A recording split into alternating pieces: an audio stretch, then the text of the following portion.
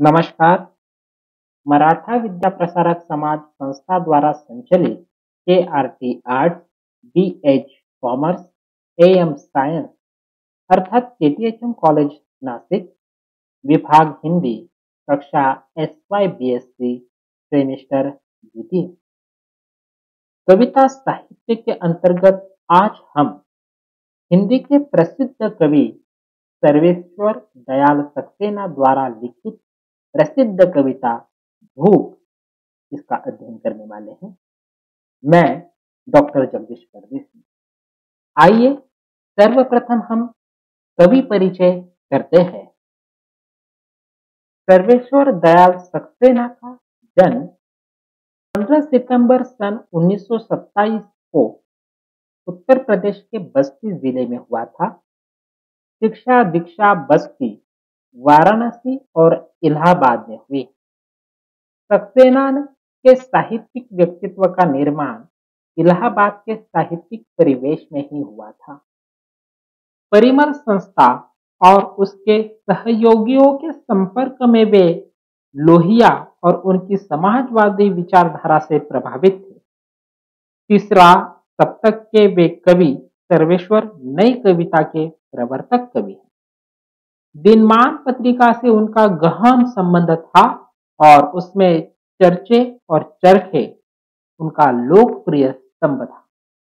सर्वेश्वर की काव्य कृतियाँ है काठ की घंटिया, बाँस का पुल, एक सुनी नाव, गर्म हवाएँ कुआनो नदी, जंगल का दर्द और खूंटियों पर टंगे लोग।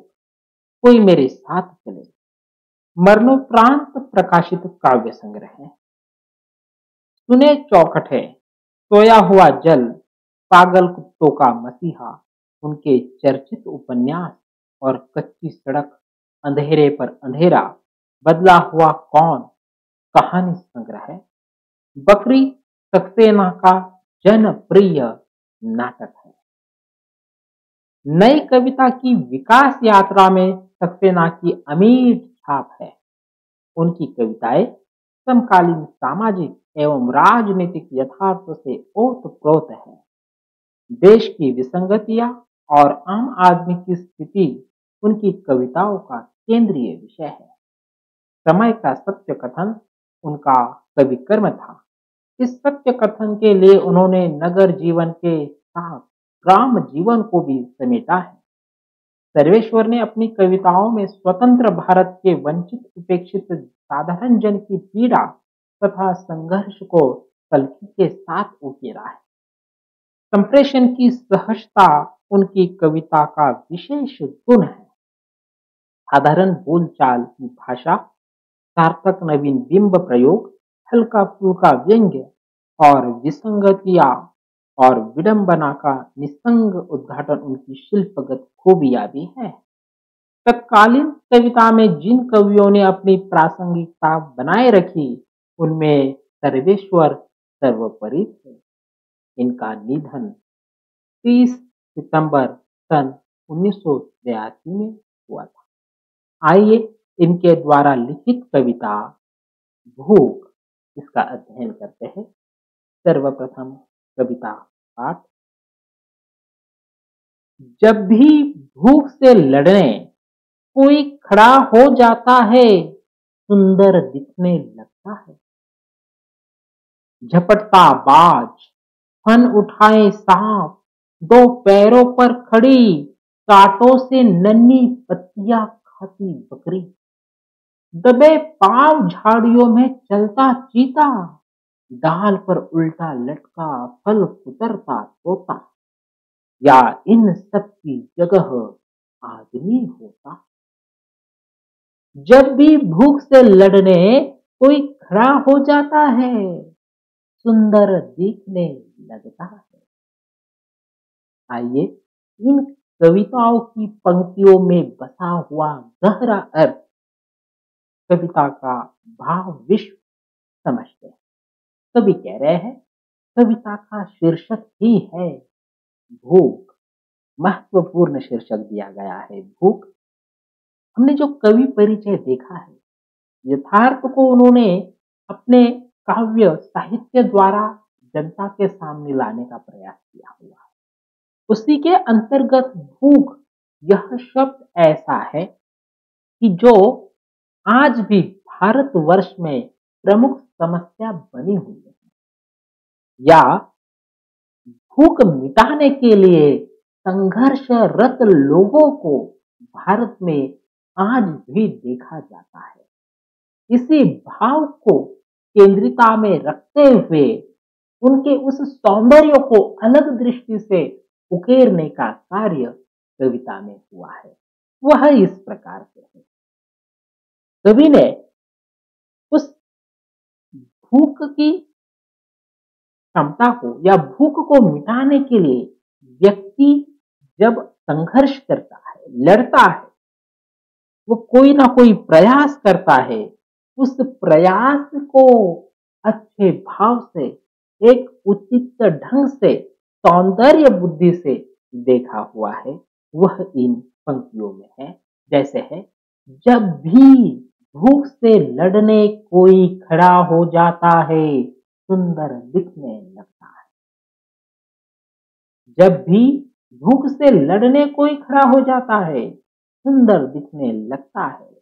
अब इसके लिए वह उदाहरण दे रहे हैं। पहला उदाहरण है, झपटता बाज। यहाँ पर हमने देखा है, आसमान में गिरकिया लेने वाला जो बाज होता है वह जब उसे शिकार दिखाई देती है, भूख लगी होती है तो वह आसमान से जिस गति से धरती पर आकर अपना शिकार उठाकर लेकर जाता है तो वह देखने योग्य होता है। वह अनुपम होता है, उसकी गति, उसकी लय, वह प्रहार अलग ही होता है, वह उसका सौंदर्य है। फन उठाए साफ़।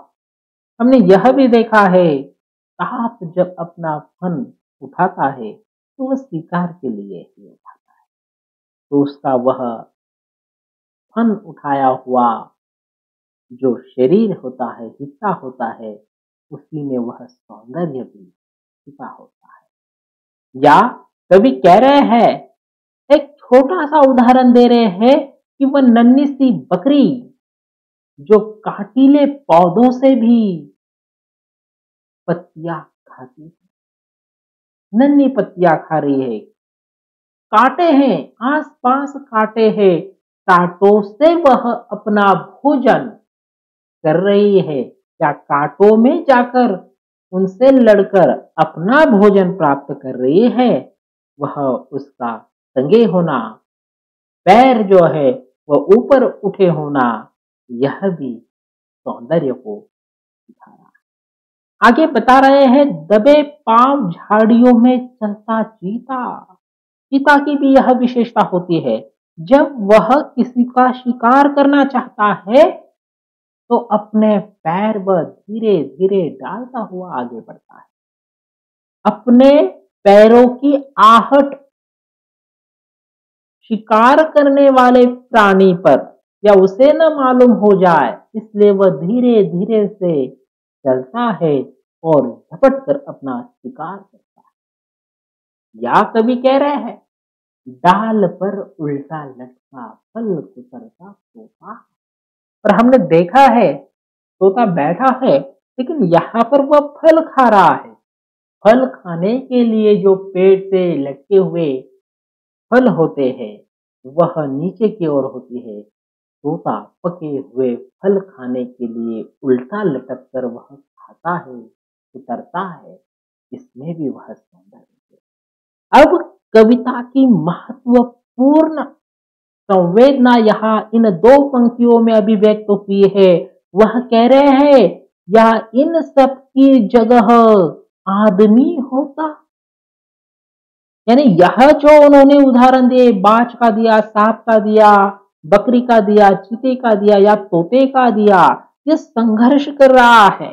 या संघर्ष करने वाले प्राणी, पशु, पंछी है? उन्हीं की जगह आदमी होता तो अर्थात भूख मिटाने के लिए मनुष्य भी ऐसे ही प्रयास करता है, संघर्ष रत रहता है।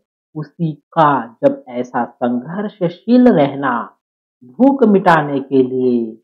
तो कवि कह रहे हैं जब भी भूख से लड़ने कोई खड़ा हो जाता है, सुंदर दिखने लगता है तो मनुष्य का भी भूख के लिए संघर्ष करना, वह एक सुंदरता निर्माण करने वाली बात है।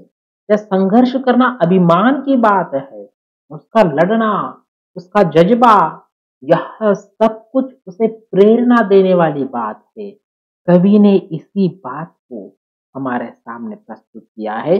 अर्थात कविता के माध्यम से कवि उस आदमी को और प्रेरित कर रहे हैं। वह मध्यम वर्गीय जी जीविका के लिए जीने वाले व्यक्ति या अपनी ओर से प्रयासरत कर्म करने वाले व्यक्ति, उन व्यक्तियों को और प्रेरित कर रहे हैं। उनका लड़ना, संघर्ष करना, यह भी बहुत सुंदर होता है।